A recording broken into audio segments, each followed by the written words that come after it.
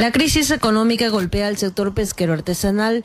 Aseguran que más de 4 mil dólares mensuales registran en pérdidas por el aumento progresivo de los combustibles utilizados para salir a faenas de pesca. Nosotros gastamos 3.960 galones de combustible por 22 días de faena. 14 mil dólares gastados. Y nosotros tenemos ahorita en el momento 4.110 dólares de pérdida con esta alza de combustible por embarcación. A la situación económica se suma el robo permanente de lanchas y motores fuera de borde en alta mar.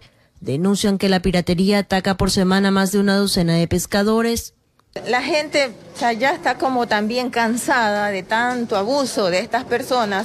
Llegará el momento en que ya no les importará o morir el uno o matar al otro. Armadores pesqueros de Manta afirman que son 250 mil familias ecuatorianas que dependen de la pesca por ello rechazan la propuesta que busca ampliar las millas del área protegida de Galápagos. Tendríamos más, más consumo de combustible, tendríamos más autonomía, más días de, de autonomía, más largos los caminos, porque habría que dar una vuelta ya muy inmensa por la parte sur para poder llegar.